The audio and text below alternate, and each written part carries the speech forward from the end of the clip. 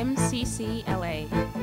Welcome to the live broadcast of Metropolitan Community Church, Los Angeles.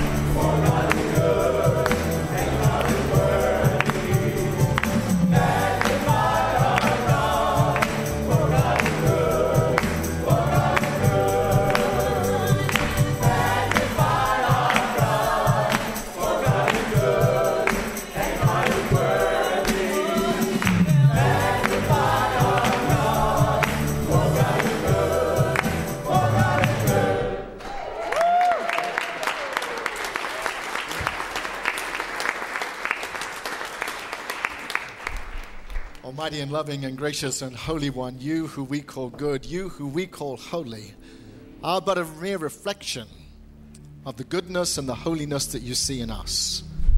So thank you. Thank you for waking us up this morning. Thank you for sending us on our way. Thank you for being with us as we gather in this sacred space this day. And so we ask, O loving and embracing and holy one, that you would enable us now to sense your spirit, to feel your spirit, to know the goodness and the holiness that is inherent in each and every human life that you have created, that you have given breath to this morning.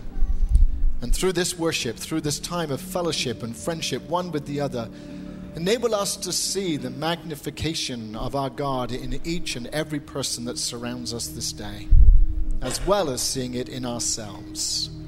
May we be blessed, not in a selfish way this day, but always in a selfless way, a way that encourages us to bless others around us, for there is more than enough blessing to go around, filling us to overflowing over and over and over again. So greet us this day as we greet you, O God, in Jesus' name. Amen. Amen. God bless you. Let's welcome our kids as they come forward this morning.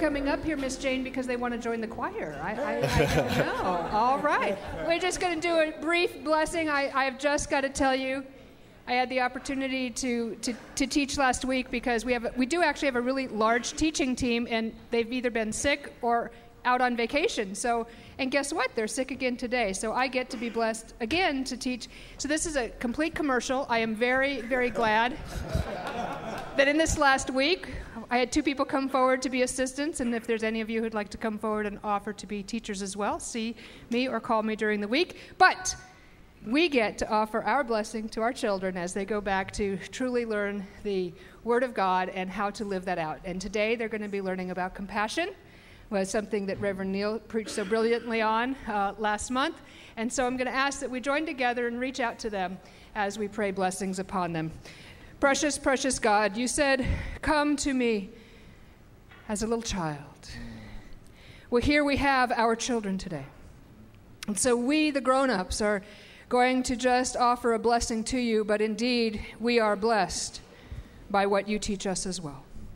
So may your time together in a few moments while worship happens in here, that you indeed will worship as well. And may you know fully and completely that all your moms and dads, aunties and uncles, love you and are with you. And I ask this in Jesus' beloved and precious name. Amen. Amen. Amen.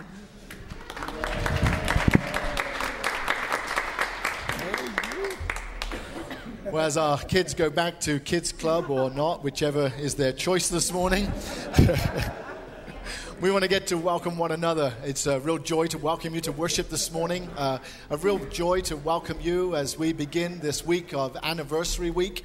Uh, in just a few days' time, we'll be celebrating 45 years as a church, uh, 45 years as a movement around the world, and 45 years of creating a difference. Uh, both in the, our church, but also in churches around the globe. And we are so grateful for that opportunity. Uh, today, of course, it is Sunday. It's a great day to be in the name of, uh, in the house of our God, and we want to welcome each and every one of you. I want to welcome you, especially if you're worshiping with us for the very first time this morning. We know that you have a choice in worshiping communities, uh, but we are delighted that you've chosen to be present with us today. I wonder if you would indulge my spirit. If indeed you're with us for the very first time today, I wonder if you would just raise your hand and keep it up for a moment so that we can see you, uh, so that we can welcome you to worship this morning.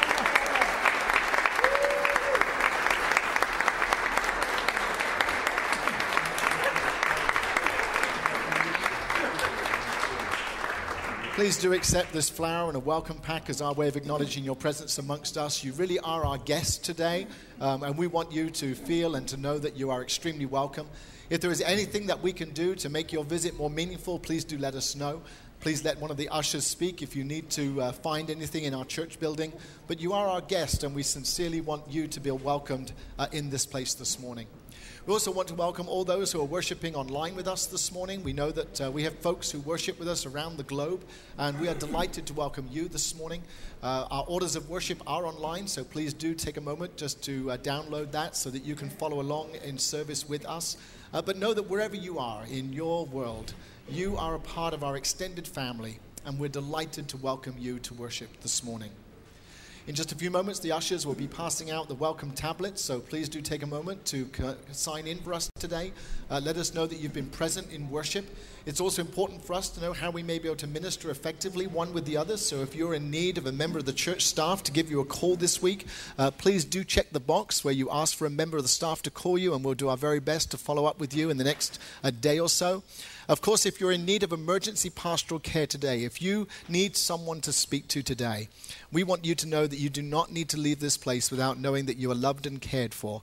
So please do avail yourself of any of us that served on the dais this morning, directly after worship, and we'll be glad to spend a few moments with you. And then, of course, if need be, uh, make a follow up appointment with you so that we can do more in depth time with you. But know that we want to care and to be your pastors and to be staff in this congregation. In just a few weeks, uh, this part of our worship service will be disappearing. Uh, we made a covenant with each other that uh, we were going to take the announcements uh, of the church out of the main worship service with the agreement that you would take your orders of worship home and mark on your own calendars the events and ministries that you want to become a part of. So uh, the five or ten minutes that we take during announcements will be given over to more worship time. Uh, so please remember that. Uh, also, the announcements will be embedded into the uh, church newsletter. Uh, they'll also be available on a scrolling screen before worship, um, and they'll be available on Facebook and many of the other mediums that we have in our church. So there really is no excuse not to be up to date as much as possible uh, with all of the activities of our congregation. However, we do have some announcements for you this morning, uh, so please uh, just bear with me.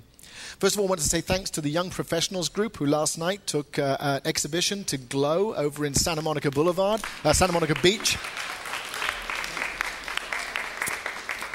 Uh, I, I checked online at that event and it was going on until 3 o'clock in the morning, so I'm surprised that the young professionals are here this morning, but, uh, uh, but we are glad that uh, your ministry continues. If you want more information about our young professionals group, please see Phoebe. She's raising her hand right now and she'll be delighted to tell you more about our group. As I said, next Sunday or next weekend, we'll be celebrating 45 years as a congregation. Yeah, I think that deserves a round of applause. We had a great uh, kickoff event this week uh, with the showing of Call Me Troy. Uh, we had a good group of people who came up and listened to Troy. Troy was here for us and did questions and answers afterwards, and uh, it was just a treat to have him in the house. Uh, and he is just very excited about this weekend. Uh, so, first of all, just to remind you, next Saturday we have the first of the anniversary events. It's the Cloud of Witnesses. It's our 45th anniversary, um, Founders History Celebration in music, the spoken word, and so much more more. It's a free event. Uh, the Archives Committee and the music team have been doing an extremely great job in pulling together a wonderful concert for us next Saturday evening. So we really want to invite you to come out. It's at 7 o'clock. Uh, Lucia says that she needs some volunteers for next Saturday. So if you are able to help, uh, please see Lucia. Lucia's uh, the one clapping. She's now raising her hand and waving it at us. Uh, you can't miss her. She's raising her hair. Uh, all sorts of things just to draw your attention. Um, and on her little note here, she said they're non speaking parts. You must be able to walk and chew gum at the same time, uh, but um, uh, you need to be coordinated. See, see Lucia uh, directly after worship, and she'll give you more, more information about that opportunity. And then our, our, our, anniversary team have just been doing a spectacular job. Uh, Dawn and Don, you see, there is a difference between those two names. Uh, they have been doing a great job uh, in organizing our events for next Sunday. Uh, and before we get to them, I just want to let you know what's happening next Sunday morning. So, next Sunday morning at 9 o'clock, uh, Reverend Elder Dr. Troy D. Perry, the founder and first senior pastor of this congregation, uh, will be preaching for us. That will be at our 9 o'clock service. At the 11 o'clock service, the Reverend Elder Dr. Nancy Wilson, the current moderator and the former and longest serving senior pastor of our congregation, will be preaching for us. Uh, in between services, there'll be some archive uh, information and exhibits uh, all the way throughout the building, detailing the last 45 years and our buildings and what we did and where we've come from. Uh, they've been just doing a great job. And so next Sunday, now people have been saying to me, well, what about the 1:30 service? Well, some of you will know that the 130 service, which is our Spanish service, um, also have an anniversary, and that will be at Pentecost next year. And we've invited uh, Bishop, uh, Reverend Elder uh, Hector Gutierrez to preach at the 130 service for their anniversary next year. So they're not missing out; they're still part of our anniversary. Uh, but we thought it was more appropriate to have a Spanish-speaking pastor and bishop of our denomination, or elder of our denomination, come and preach for them next year. So uh, we're just delighted that uh, Reverend Reverend Hector has already agreed to be here, and he'll be here next May, so you'll get to hear another elder next year. Uh, but we're just delighted with so many of the anniversary events. I'm going to ask Don if he would come briefly and just speak to us about the anniversary events for the afternoon and for the evening. Good morning. I hope you're all planning to join us next Sunday. Yes. It is going to be an amazing evening, amazing afternoon and evening. Um, if you haven't purchased tickets yet, in the afternoon we're going to have our private reception with Bishop Gene Robinson, Reverend Troy, and Reverend Nancy. If you don't know who, Bishop Gene Robinson is, he's the first openly gay Episcopal bishop in the entire world. It was basically Gene and Troy who transformed Christianity around the world and opened up the dialogue in mainstream churches outside of MCC, who, of course, was the forerunner that opened up freedom for all of us. Mm-hmm. Um, but if you would like private time with them next Sunday, we're going to have an amazing reception uh, in Beverly Hills. And then following that, we're going to have our dinner gala at the Petersen Automotive Museum, which will be just incredible. We have great music set up for you. Uh, we're going to be hearing from Troy, Nancy, Bishop Gene, and of course, our own Neil. Um, we've got great surprises for you. And we have amazing food. Maggiano's is going to be catering our dinner that night. It's going to be incredible. Um, if you haven't purchased tickets, Don and I will be right outside on the sidewalk right afterwards. Today is the last day to purchase tickets because we have to give Maggiano's our count by tomorrow. So come see us today. Get your tickets. If um, you have signed up for scholarships and you need some help, we want our whole church family to be able to be there. So please come see us. If you signed up for one of those scholarships, come see us this morning at the table so we can work it out so you can be there with us also. And lastly, if you bought a VIP ticket and are going to be there for the reception, please check in with us today. Make sure we have your correct email address because I'm going to be emailing you directions, address, and all that to the reception in Beverly Hills. It's up in the hills, so it's kind of confusing. So we're going to actually send you maps and the whole bit. So check in with us. Make sure we have your email address. If we have anybody attending Sunday night who could help out one of our members with a ride home afterwards to downtown LA area, please come let us know. We have one member who just needs a ride home afterwards. So if that's something you could help us with and help one of our church members get home after the deal, please come let Don or I know so we can uh, arrange that for it. Thank you very much, and I hope we see everybody next Sunday.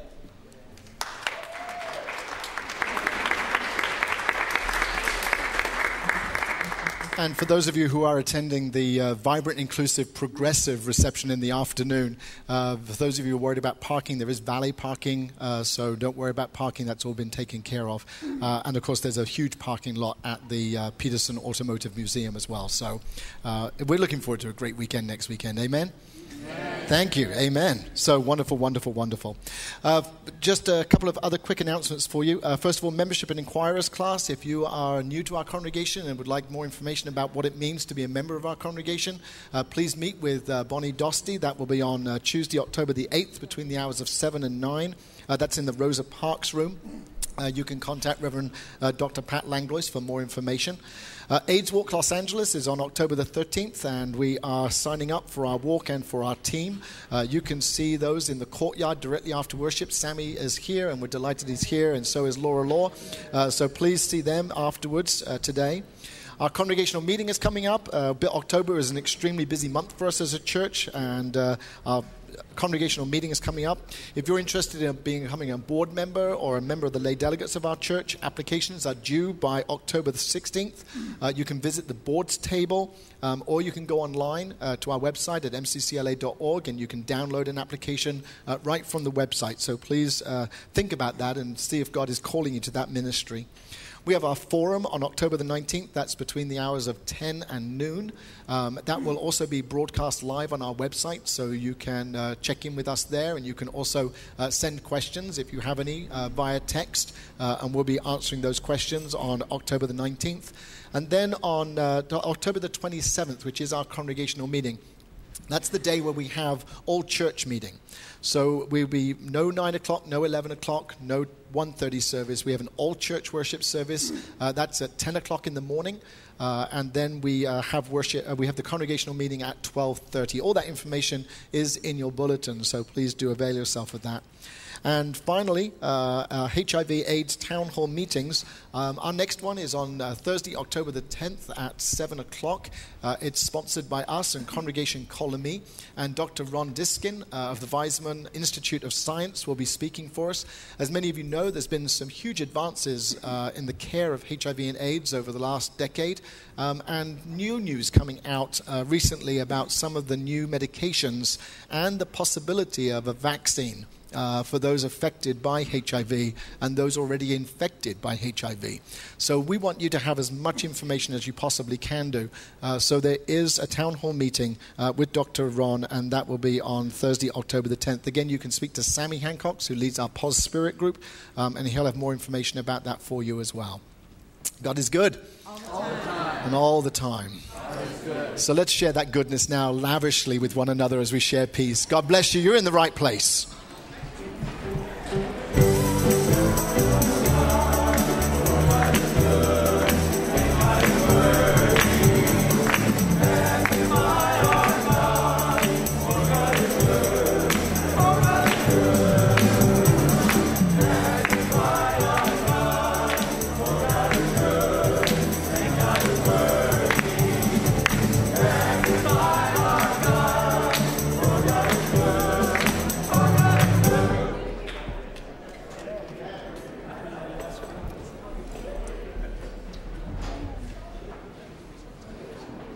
uh, many of you will know about uh, the Christine Daniels Scholarship Fund. And I'm just going to, there we go. The Christine Daniels Scholarship Fund is a fund that was established in our congregation uh, following the death uh, by suicide of Christine Daniels, who was a member of our congregation. She was the sports writer for the LA Times for many, many years and transitioned. Um, and during that transition, uh, found a home for us, a home for herself here at Founders MCC. And uh, later on, uh, during that period of her own life and of her own transition, and some of the turmoil that many transgender folk go through in their own lives, um, experienced oppression and prejudice, and finally could no longer live with the depression that was inside her own body, and finally took her own life. And we memorialized her in this congregation through the Christine Daniels Scholarship Fund. We believe that her legacy should live on, especially for those who are doing education especially for those who are improving themselves, and especially in our transgender community, although not specifically. And so every year we give out some scholarships to folks who are in full time education, uh, to those who are uh, looking for a little bit of help with buying books or with some tutoring, uh, or for those folks who are just trying to self improve. And so this morning we are delighted to be able to give out four scholarships in the name of the Christine Daniels Scholarship Fund, each for $500 each.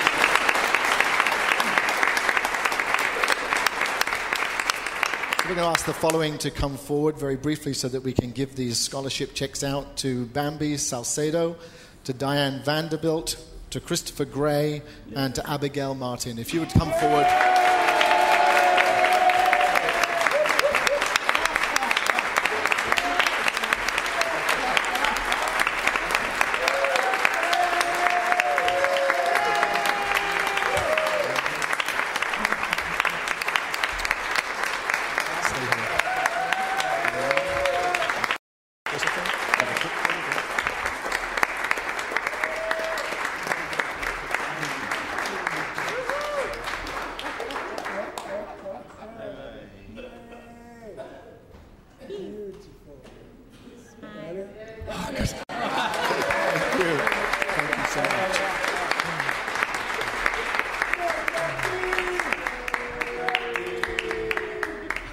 About you, but it makes me feel so good that this congregation is not just a congregation that receives money in, but it's a congregation that is willing to give it away and to certainly support members of our own community who are doing great things and become the new activists in our world.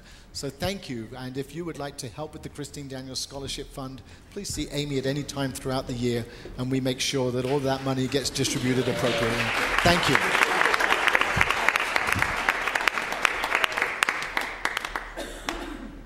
Our scripture reading today is from the book of Matthew, chapter 7, verses 7 through 11. And as you hear this, you'll recognize it's from the message. Don't bargain with God, be direct.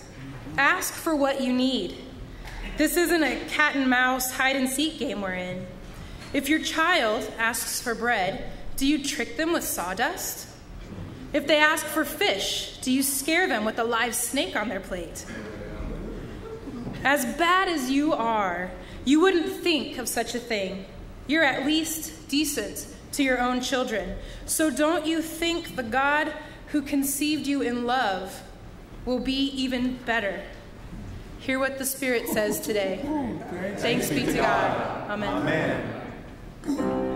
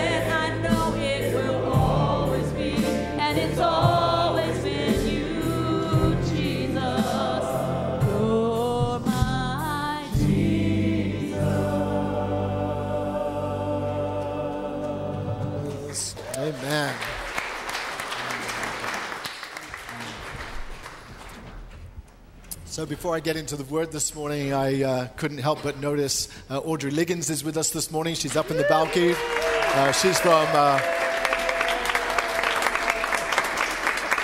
she's a uh, former member of our church, she's now in Las Vegas. And uh, of course, this weekend, the Las Vegas church was celebrating their uh, Spanish speaking ministry as well. And so, uh, Reverend Alejandro and the Spanish choir, Acoro, uh, were in Las Vegas last night celebrating with them. So, we want to give them a round of applause and appreciation.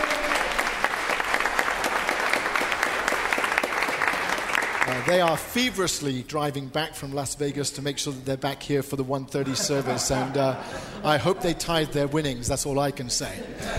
Um, and uh, many of you last weekend would have noticed uh, that I was wearing a clerical collar and a stole, and several people said, Was there a special occasion last weekend? Well, the special occasion last weekend was that I couldn't find a short sleeve shirt uh, that would go over my cast. Uh, and so I felt underdressed without a stole on and with short sleeves, and so I just wore that because I could. Um, and uh, this weekend has been a, a, whole fiasco of trying to get my fashion sense right. Um, you know, I, I genuinely believe that I should dress appropriately for for worship. That's just my thing. I don't expect other people to do that. You know, it's just my thing. Uh, and so yesterday, uh, Jenny and I from uh, my former congregation in Bournemouth spent almost the whole day uh, trying to find a dress shirt that was short sleeved so that I could wear a tie. Because uh, I like to wear a tie at the 11 o'clock service. And, you know, of course, now, of course, the, it's the fall season, so all the stores have sent back their short sleeve dress shirts, and all they have is long sleeve dress shirts. Uh, and so I spent like couple of hours kind of just trying to figure out what I should do, what I should do. Should I just get one of my old shirts and, and cut them so that they're, you know, so it's short sleeved? Uh, the, the guy who put this full cast on me assured me I'd be able to wear a jacket, that it would be okay. And this morning I got up and tried to put my jacket on. Of course, it didn't go over my hard cast that I'm now wearing. And, you know, uh, and so I so I have no button to do up, and I feel just a little bit underdressed. So please indulge me and uh, accept my apologies as I feel a little underdressed this morning. Okay, now that's out. I can get that out. So uh, let's join with me in prayer and pray for this preacher boy this morning. God, he's a mess. God, we just thank you. We thank you for your grace and for your wisdom and for your mercy. We thank you that your love abides in us no matter what we look like. we thank you, God, that you never fail us and that you never fail to surprise us, that you show up in all kinds of different places. And this morning, we're thankful that you decided to show up with us this morning, that you showed up in each and every one of us as we brought our authentic selves to this place, each and every one of us. Thank you that we can lay ourselves open before you. Thank you that you love us deeply. And so it is in that knowledge of that great love for us that we're able to make ourselves available to you. So we ask now, as we open our hearts and our minds before you, that you would do what you do best and love us deeply. Speak to us in that still small voice, even as we preach, so that we may hear the interpretation of that word that speaks so profoundly to each and every one of us in our own circumstances, uniquely and as a church. And now, God, I pray that you would touch my lips of clay, mold them into the words that need to be spoken this day. And may the words that come from my mouth and the meditations on each and every one of our hearts, may they be found acceptable to you. In the name of Jesus, the living Christ, in whom we pray. Amen. Amen. So this week we bring to an end this series of sermons that we've been preaching throughout the, uh, the throughout the September month uh, under recovery, as we've celebrated recovery within our own congregation. Recovery is a month that's celebrated uh, around the world for those of us who are in recovery, those of us who are in 12 step groups or 12 step rooms around the world. It's a time for us to stop and to pause and to give thanks for that moment of decision in which we would hand our control, hand our power over to a God who is greater than us, to a power that is greater than us. And throughout these last few weeks, we've been preaching the 12 steps of Christianity. There's not been 12 steps, but we acknowledge that there are 12 steps, uh, that each and every one of us uh, is in recovery from something, that not one of us is left out of this occasion. And our, our addiction or our recovery may not be from drugs or from alcohol or from substance abuse or from any of those things, although for some of us uh, it may be. Uh, but the reality is that we're all in recovery from something. We're in recovery perhaps from a bad relationship. Uh, we're in recovery from a broken heart. We're in recovery from toxic religion. Uh, we're in uh, recovery from a religion that told us that God didn't love us and recovering, knowing that God loves us just the way that we are. And that each of us is in recovery from something. And so when we celebrate recovery in our congregation, even though we, of course, celebrate the recovery of those who are in 12 step groups and uh, working the rooms, we're also in alignment with each other to know that all of us are in the same boat together. That all of us have something that we are dealing with in our own lives. And we are grateful for us as 12 step Christians. We're so grateful that we have a God who knows us, loves us, and wants the very best for us. I think that's what Scripture was telling us this morning. The Scripture was saying, why would you give your child something that isn't good for them? And yet, the God who we believe in is the God who lavishes that great love upon us. Hmm. It is that God who wants to lavish recovery in our lives. It is that God who truly wants to welcome us in the full and authentic human beings that we are. And whilst many of us may have been damaged from things in the past, we believe in a God who heals us and brings us to wholeness in our lives. And that part of our journey, part of our quest, part of our life's mission, if you will, as those who are followers of Jesus or those who are, also, who are uh, in recovery or those of us who know a higher power, we know that this God is a God who wants only the very best for us. It's not a God who wants to deal with us a bad deal. It's a God who wants us, each and every one of us, to reach our fullest potential. And so, over the last few weeks, we've been looking at some of those steps that we might be taking in our own 12 step Christianity. Uh, we looked at the reality that for those of us who are followers of Jesus, or those of us who are perhaps even just thinking about what it might mean to believe in God, that we stand on a first foundation. A place that we stand on is right at the very beginning, knowing that we have a God that we can trust.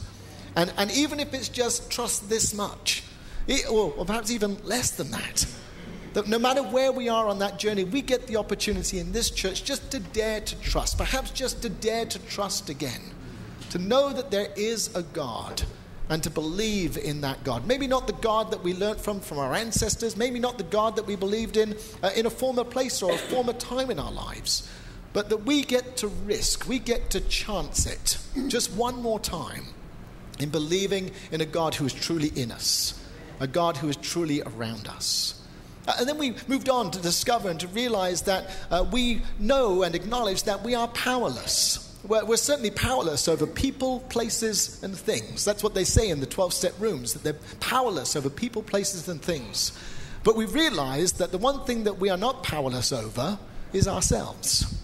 We're not powerless over our choices. We're not powerless over our decisions. We're not powerless over our yes and our no. Scripture tells us, let your yes be yes and your no be no. And that whilst we may not always fulfill that in our lives, we know that we are powerful over ourselves. We're powerful. As we believe in this God who is powerful, if that God is truly in us, then we are also very powerful ourselves. So we agreed with one another that we are not powerless over ourselves. We're not powerless over how we say things to one another. We're not powerless over the generosity with which we share one with the other. We're not powerless over what we say and what we do, and that we have to acknowledge that there is, comes with that power over ourselves certain responsibilities, and certain responsibilities to be as authentic as we possibly can. And so we challenge one another to take that next step in our own awareness of God within us, that we have power to choose how we live our lives. And that's a great power that we get given. Not that we'll always be perfect, but that we have power over ourselves. Then Reverend Melissa preached for us about quality control, and she challenged us to think about all of the ways in perhaps we may have harmed ourselves or harmed one another in our journey thus far. In the 12 steps, it's that inventory, if you will, uh, step four, of writing all of the defects of our lives. And uh, it depends where you are on that journey and how, how old we might be, but sometimes that list can be quite extensive. Um, and certainly for us in our own Christian journey or in our own human journey, some of our defects can be certainly quite exhausting as we write down those things and the ways that perhaps we've damaged ourselves, yet alone the way we may have damaged one another. And she talked about how we should have that quality control in our lives and what a unique opportunity it is for those in 12 step rooms to be able to write that list. Sometimes taking a long time to write, but to really seriously look at that inventory of our own lives and to think about how we can then, as we moved on, to make amends in our lives. And sometimes it's not easy to make amends. Sometimes you can't go back and make amends with people because they're no longer a part of your life. Sometimes the reason why we need to make amends is because we've shut them out of our lives. But the reality is that where we can make amends, so we should. And I challenged people within our own congregation last week to uh, think about how we might be able to make amends with people that perhaps we don't talk to in church anymore. Acknowledging that churches are just like every other institution, that we all have our fallouts with one another every now and again. And sometimes it's really important. You know, the, the, in the Old Testament, it was called Jubilee. It was that time when everything was forgiven and everything was put back to, to, to, to, normal. Everything was put back to right. Normal is a difficult word to use in our congregation, but everything was put back to that baseline, if you will. I was trying to think of another word, but putting it back to that baseline about how every seven years every sin would be wiped away and we get to start all over again. Not, not to sin all over again, but get to start all over again. And for many of us, we're called to make amends with each other. Uh, and I'm a little curious this morning because both the sides are really full and the center's a little bit unfull this morning. So I'm just wondering whether how much of amends was going on last week. But uh, I keep being reminded that uh, the air conditioning is actually a little colder on this side of the church. Uh, so people are moving now to the side. So I know we've got to work out this air conditioning thing. But, uh, uh but it's kind of just making those amends one with each other. And today we take that final step, if you will, to deepen our relationship and to deepen our contact, our commitment to growing as human beings and to growing in our relationship with God. You see, if we, we truly make all of these steps, we are growing all the way along. But the reality is that as we go through these 12 steps, as we go through this Christian understanding of what it means to be in relationship with God, we have this understanding that we are in relationship with God. And that any relationship that we might be in, whether it's a personal relationship or a relationship with a higher power or a relationship with God of our understanding, whatever language we might want to use, that it takes part of who we are to deepen our commitment and our understanding of the one that we're in relationship with. Mm-hmm. Improving contact with the God of our understanding, improving contact with God who is with us. And that's not just something that we can do on a Sunday. I truly believe that in order for us to improve that contact that we have with our God, we should take advantage of all of the circumstances of our lives. That we should take advantage of every single opportunity and experience to deepen that awareness of who we are. In the scripture reading, if you uh, we took it from the message, but in the New International Version it says, "Ask and it will be given to you; seek and you shall find; knock and the door will be opened unto you." And so we were reminded that this God that we believe in is, is not forcing God's self upon us. It's not a relationship that we're forced into. It's a relationship that we get to ask and to seek and to knock. It's a relationship that we get to be involved in.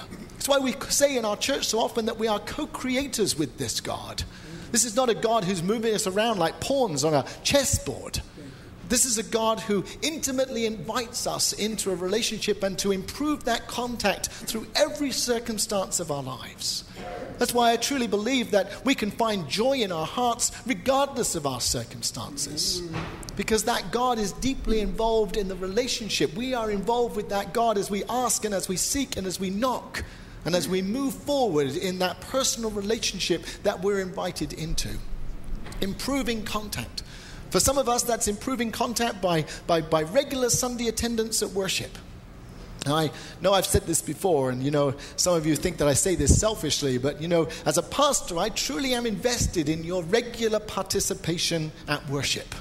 And that's not because if you weren't here, I'd look a bit silly up here preaching on a Sunday morning, although that might be part of the reason. But you know, it, the reason that I really encourage your participation is because sometimes the world can distract us from what it means to be in relationship with God.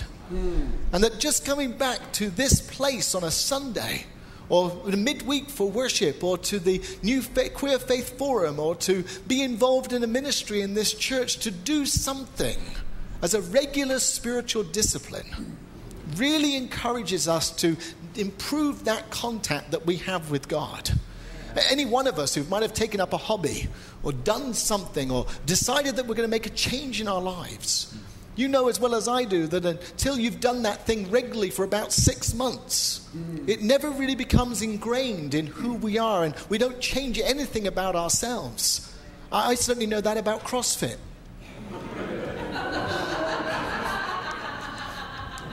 and I'll get back to it as soon as I possibly can. But you know, in order to change our lives, we have to do something regularly on a consistent basis, over and over again, to make it a habit in our lives, in order for it to become permanent in our lives. I think that each and every one of us should find a spiritual practice, a spiritual discipline where we get to do something regularly, one week after the other, one day after the other, to improve that contact and to improve our own spiritual relationship, to improve our contact with God. Now, I have a couple of spiritual practices that I like to do. Um, and but people ask me all the time, well, you know, Pastor, you're always you know, giving and giving and giving. And believe me, I get just as much back in return. But the perception is that I'm always giving and giving and giving. How do you improve your contact with God? And I have a couple of spiritual practices that I do on a very everyday basis. Well, not every day. One, at least one I do every day. Um, my first spiritual practice is Facebook. Now, I know many of you might think that that's a funny spiritual practice. but any of you who are Facebook addicts know it's not. It's a, it's a heavy commitment to a spiritual practice. But, you know, every, every, every morning I get up, and after I've done what I need to do first, I then go to Facebook. I have, I think, 4,200 friends on Facebook. Um, and so every morning, the first thing that I do is a spiritual practice is I wish my friends who have birthdays on that day a happy birthday and to ask God to make it a blessed and wonderful day. And every day I do that as a spiritual practice, and as I type those words, which gets a little bit more problematic right now, but as I type those words, I'm praying for that individual to ask God to bless them on this, their birthday. And so I know that at least once throughout the whole year, I've prayed for at least 4,200 people. And that list keeps adding, as you can imagine. But it's a spiritual practice. It's something that I make, and it, that reminds me to go into my day acknowledging that it's not just about me, but that I'm connected to a much, much bigger group of people, and allowing that God to bless them through that action that I make. Now, the second spiritual practice that I have is that every Monday night I sing with the Gay Men's Chorus of Los Angeles. And I want to tell you, in some ways, uh, that really is uh, my church. Uh, that's the place where I go to get fed. I love music. Music spiritually feeds me. Mm-hmm. And it's the place where I go and I have no leadership responsibilities at the Gay Men's Chorus of Los Angeles. It's where I just go and I just happen to be me. Now, they've, they also know who I am, and so I still get called Reverend Neil all the time. Uh, and sometimes that's a, you know, it's like, no, just call me Neil. Just, you know, just, just like, just call me Troy. You know, just call me Neil. You know, I don't, I don't need the titles, but you know, this, it's, it's, it's, it's just my place. It's where I go. And uh, I was very proud to be part of them this week. And many of you may know they sung the national anthem at the Dodger Stadium on Friday evening, um, and that was just a, a great, a great joy. Now, it's only the second time I've been to the Dodger Stadium, and nearly 120 of us were all saying, What's this? Spiritual practice. I know, Dawn. It's a male thing. Yeah. So, it's a spiritual practice, improving contact. In 12 step rooms, almost at the end of every 12 step meeting, they say, Keep coming back. It works if you work it. Amen? You know, friends, keep coming back. It works if you work it. You, you can't just have a theory about it. You, you just can't read it on the page. It's not a novel. This is an experience that we're invited into. And you and I need to keep coming back, keep coming back to church, keep coming back to groups, keep coming back, coming back time after time, even when you feel like you don't know whether you belong. Keep coming back because it works if you work it. This is an experience that we're invited into, to a relationship with God, to a relationship with the divine, a relationship with the God who is in us. And in order for us to improve that contact, to develop that contact, to know that contact, to, to be sober, to be Christian, to be a follower of Jesus, we need to keep coming back to the source. And coming back to this place is one of those great ways in which we get to do that as community. So I'm going to invite you as we think about what it truly means to, to improve that contact with God, to think about for your own life. What is it that you need to do as a spiritual practice? What is it that you need to do to, to look at your calendar and just to set aside a, a 90 minute slot on a Sunday morning and to be in church with people who share a common faith and a common journey? It's one of the reasons why 12 step groups are so successful is that there is a common purpose mm. and a common place where they're able to come back and to touch that touchstone of life. to think about how we can make that 90 minutes so meaningful for one another to keep coming back, for it works if you work it. Those of us who have been around church or perhaps have left churches for a long time, you know as easy it is to be a part of a church on a consistent basis. As soon as you miss one week or two weeks or three weeks or four weeks, suddenly it becomes less of a habit to actually get to church. So it becomes less of a habit to find that connection with God. And so we need to make our own disciplines about coming back to the source, about coming back to the place, about coming back. Keep coming back. It works if you work it. So this morning, wherever we are in our spiritual journeys, whether we perhaps think that we are well over our 12 step and we don't know where else to go, or we think we're just on that baby steps of developing a habit about coming to church or coming back to that source. I want to encourage you to improve that contact, perhaps through a ministry, perhaps through a program of the church, perhaps through regular attendance, perhaps being involved, perhaps doing something. I think of our leaders in our church and just how much they do to keep that improving contact. I don't believe our leaders do it just because they think it's fun. I think it's because they get back as much as they give out. I come every Sunday not just because I'm the pastor but because I get back from you just as much as I give out. It's part of who I have become, and you have shaped me, and I hope at some level I've shaped you. But improving that contact takes discipline. And it takes that opportunity to look at our calendars and say, yep, this is a commitment. This is something I need to do for my wellness and for my wholeness and for my opportunity to be in connection with the God of our understanding. So I want to encourage you as we close this sermon series out to keep working the steps, step by step by step by step. And know that not one of us is perfect. Not one of us has got it all sewn up. Not one of us has, has shown the example except Jesus. And so we come back always to look at the mirror and to see how we align in our Christ likeness with the Jesus who welcomes us this morning. So may God bless us as we prepare for anniversary next Sunday. And we prepare for anniversary just by taking a pause. See, it's just, we just hit that pause moment to celebrate 45 years. And then we open year 46.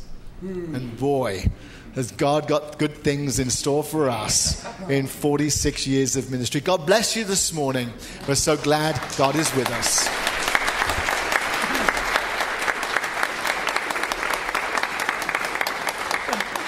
So thank you, God. Thank you for sharing this moment with us. Thank you for reminding us that you want contact with us, that you want us to keep coming back because it works if you work it. And you remind us this morning that for each and every one of us, we make this a discipline. We make this a part of our priorities. And we make it a priority because we know it is good for us. Now bless these words that have come from my mouth today. They're not returned to you without blessing each and every one of us. And add to this whatever you need to, O God, for us as individuals so that we may have a full understanding that today you invite us to ask and seek and knock. And that as a good God, you only want the very best for us. And so it is. And so it is.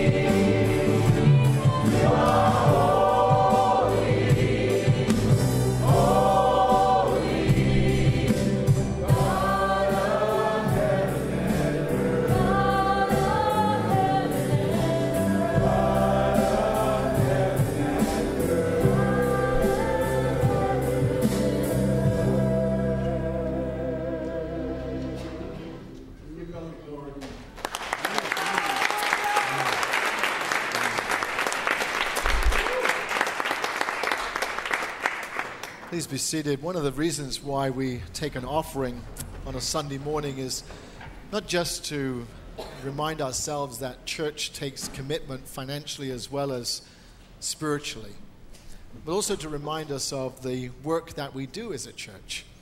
We're a congregation that believes in giving back just as much as we receive in, and this morning we've demonstrated that in so many different ways already. We demonstrated that through the Christine Daniels Scholarship Fund. Uh, we've demonstrated that by providing 300 brown bag sack lunches this morning for homeless folk who are living on the streets in downtown Los Angeles. And this morning, uh, we give thanks for one of our online viewers. A few weeks ago, you may remember that uh, Matt from Australia greeted us uh, via the internet from his hometown. And Matt was uh, one of our new members, one of our new congregants, uh, who lives in the outback. Yes. And it was a, a joy to welcome him into worship on the cameras.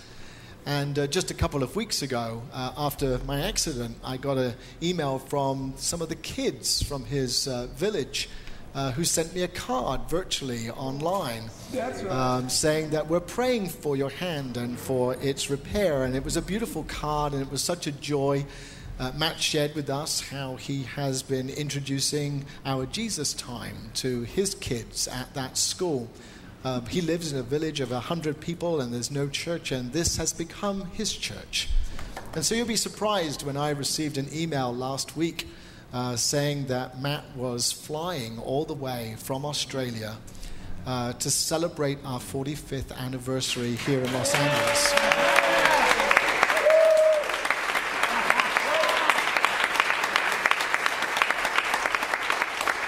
So I would like to this morning introduce to you Matt, who's here all the way from Australia.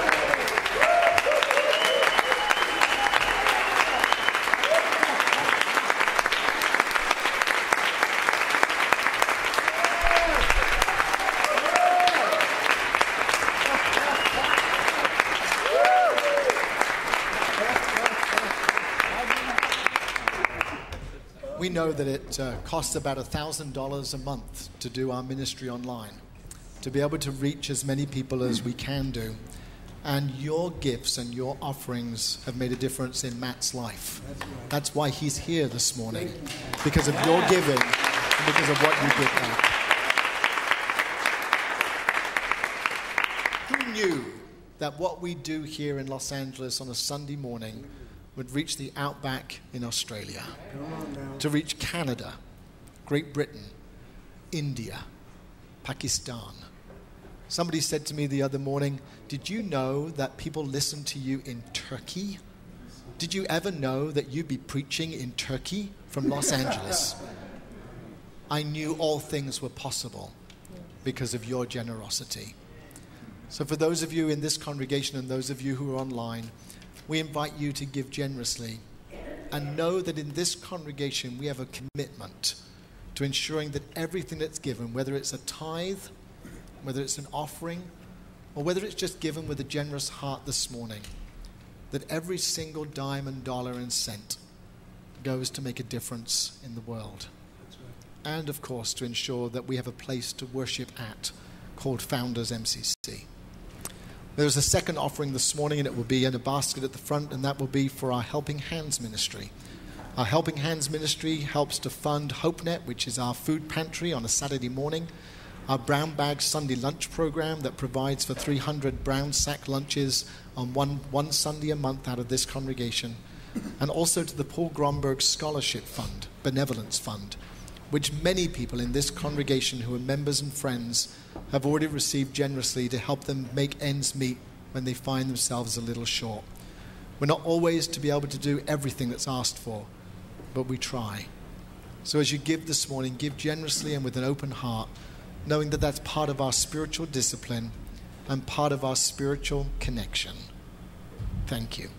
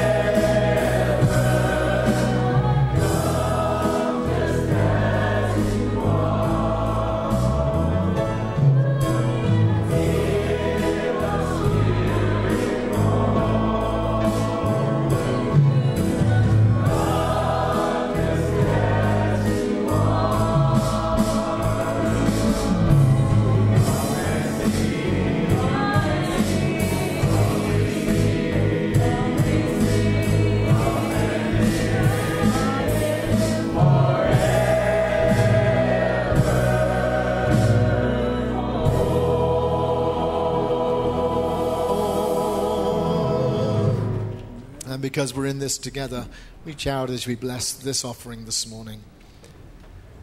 God, we thank you that we are holy hands this day, blessing and sanctifying this offering given in response to your call.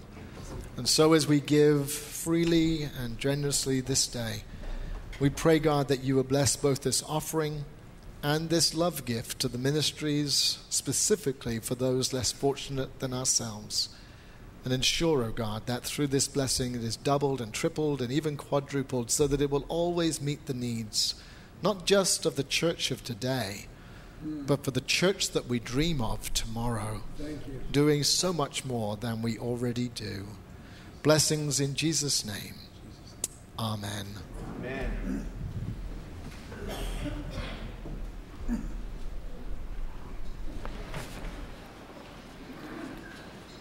I was, I was listening to the sermon like I'm supposed to. And uh, I was thinking about communion and, and, and what it would mean if confession and forgiveness work if we work them. The table works if we work it. And I was thinking about one of my spiritual practices, which is when my brain gets full of all kinds of tasks and troubles and whatever, I, I kind of take a moment to start praising God. And I start declaring who God is to me and what, and what I've experienced with God. And then all of a sudden, I can't really remember those things that were troubling me so much. That kind of just cycle and spiral and get me crazy over here. And I'm like, oh, yeah, that's right. God is so huge. God is so amazing that together we can handle whatever's going on. So today, as we pray, you can join me now. I'm just going to call out praises to who God is as we bring ourselves to this place Creator, Redeemer, Friend, Lover, Deliverer, Companion, Hope. God, you're our vision. You're our inspiration. You are everything when we have nothing. You're our provider, our healer. You carry us. You push us. You pull us. You pick us up. You bring us back down.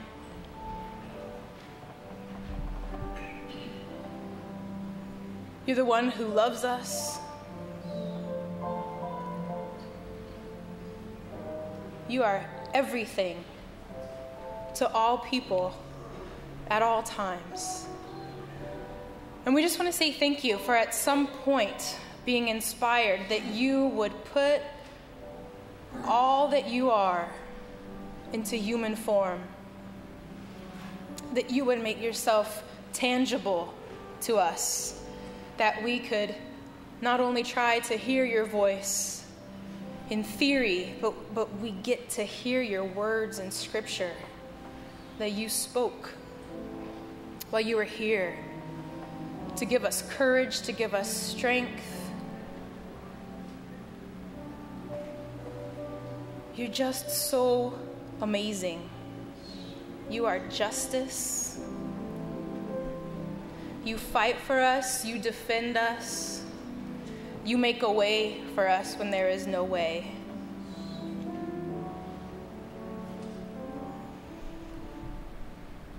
You're the one who gives us joy when we can't find it on our own. We just can't believe how good you are to us. So help us remember when we can't even remember. Be our memory, be our imagination be the still, quiet voice. Be our cheerleader as we try new things.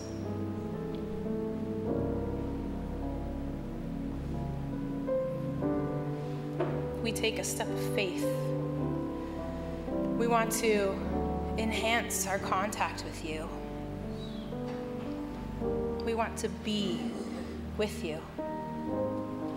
And you're already right here in our midst. All we have to do is quiet ourselves and focus ourselves and call upon you. And then we get to sense you and feel you and be made whole by your presence. Thank you. Amen. Amen. So um, during this week of, uh, or this month of recovery, I was reading this week the, uh, the Road to uh, Emmaus. And yes, Melissa, I listen to the sermons all the time, and sometimes I even read the scriptures. Um, Don't get crazy. so I don't know if you're familiar with the story, but it was just very refreshing to me. This uh, was the Sunday that Jesus was crucified. And you know, he went through the betrayal, he had his Last Supper, uh, he went through the death, the burial, and he just was resurrected. And Mary had gone to the grave, and we know the angels were there. And he wasn't there. So, you know, Mary went back and was telling everyone that he wasn't there. They took him. So these two gentlemen, uh, two of the followers, were going to the city of Emmaus. And it was about 20 miles outside of Jerusalem. Well, I don't know about you, but I can barely walk one mile, let alone 20 miles. And they were talking about the events of the weekend, talking about what Jesus was, was going on. And all of a sudden, this, this person who they didn't recognize came up to them and started chatting with them about the, the, the weekend events. They didn't recognize him, it was Jesus. And they continued the rest of the 20 miles. Well, there's several different things I, you know, was gleaming through this story, and one of them was is that you know whenever two or more of us are present, Jesus is amongst our midst. And they continued and walked and discussed, and they didn't know for 20 miles who this presence was. Now, I guess in my recovery, my days of younger youth, if I walked 20 miles with someone, they really would have been cute. Um, so um, obviously, I've changed a little bit, but um, they finally got to the city of Emmaus, and Jesus wanted to continue. And again, they did not know who he was, but they invited him um, to stay for dinner. And then they broke the bread, just like they did the night he was betrayed. And then they took the wine and blessed it, and they all partake of it. And at that moment, when they had the bread and the wine, his presence became known to them. They realized it was Jesus. So the invitation is here for you today. Sometimes, just like they did, they were disappointed that day. They thought something else was going to happen. They thought something much more miraculous was going to appear. I'm asking you, how many times have we gone through life expected something different than actually what it was. But at the same time, we've been better off for it. So, and the story goes on, but to me, that first day, that first Sunday after his resurrection, Jesus was there and he's with us all the time. Every Sunday every time we get together and talk about it. And He's with us when we break this bread. So I'm asking for you, as we bless it, to come forward and break it with us, and share with us, and be in communion with Jesus today.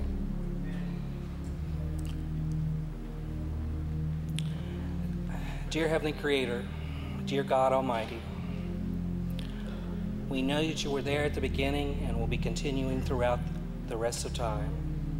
We thank you for being through us throughout our recovery period, and some of us need second chances, and some, like me, need many chances. And dear God, I ask that you bless this bread as we break it today, and do this in the remembrance of our dear Lord Jesus' body. And dear God, I ask you to bless this, this grape juice or symbol of wine as we remember our dear Lord Savior's blood. This is our prayer, and we do this in remembrance of him. In Jesus' name, amen. Amen. So, for all the people who are with us for the first time, it's our tradition at Founders MCC, like MCCs everywhere around the world, that we celebrate an open table, which means you don't have to be a member of this church, you don't have to be a member of any church. It's not up to the church or to, to us to control this table. It's a gift from God through Christ to everyone. So it's our tradition that we take a wafer and we dip it in non alcoholic grape juice and place it upon your tongue, and we offer a short prayer of blessing. If you would like to take the wafer and dip and serve it to yourself, you're welcome to. And if you would like to just have time alone with, with your God without any human interaction, there's going to be a set of consecrated elements over to your right. So, what I would like to do is um, invite the servers and the acolytes to come forward, and I would like to invite you to follow the lead of our ushers. Amen.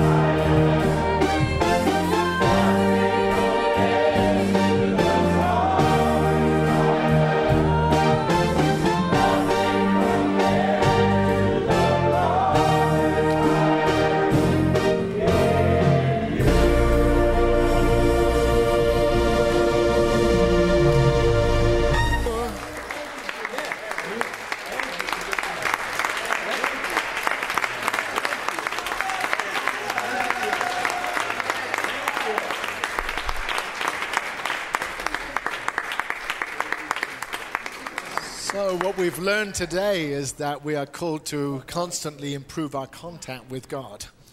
And to improve that contact through regular discipline, through regular worship, through regular opportunities to be of service in the world, for knowing that what we give, we get back triple and quadruple fold.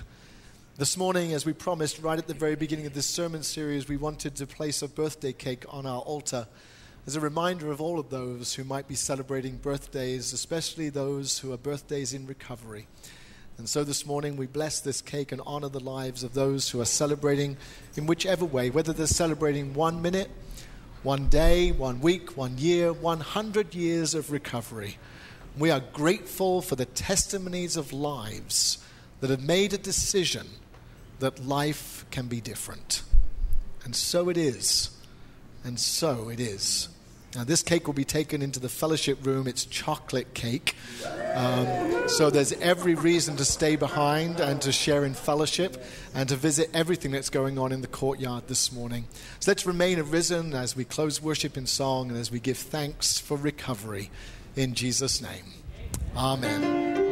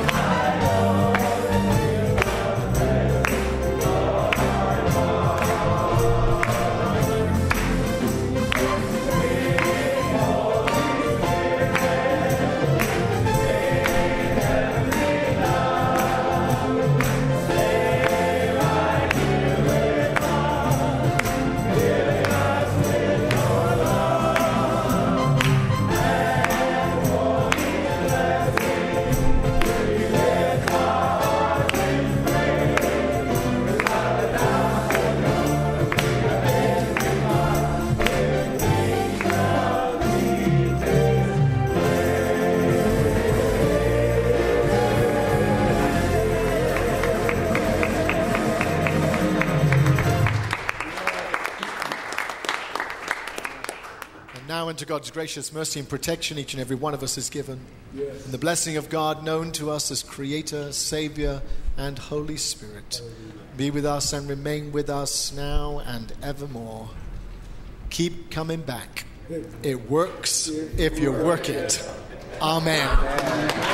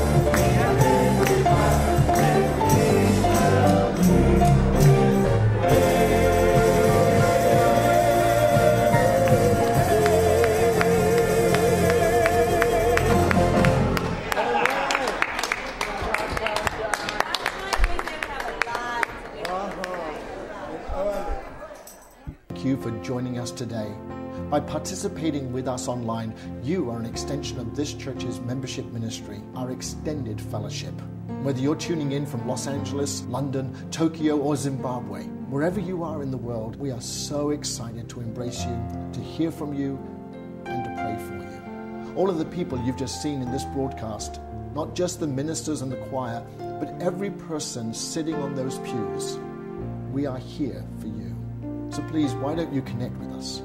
Interact with us. We have four ways you can do that telephone, email, Facebook, and Twitter. And all of those links are located at the bottom of every web page of our website at mccla.org. With your help, we can not just continue, but expand and reach a greater number of people with God's love through this ministry. Be a video angel amongst us by supporting this ministry through our donate link located just under the support menu in the upper right corner of any page of our website. Your participation is very important. And I want to invite you to write to me and let me know how I can be in prayer and praise with you, even though you are not here in our worship center. You are still a part of MCCLA. Email me directly at revneil at mccla.org. May God bless your life.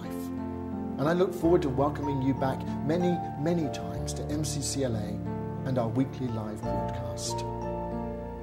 You